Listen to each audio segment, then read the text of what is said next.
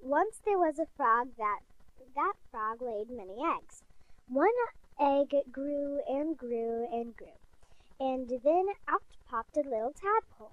He swam around and as he swam he grew bigger and bigger. Then he turned into a zygote. That, then the zygote grew bigger and bigger. Many days later he turned into a froglet.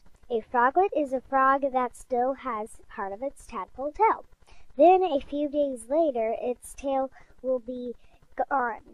Then it's a full grown frog. Then that frog will have eggs and then the life cycle will start all over again.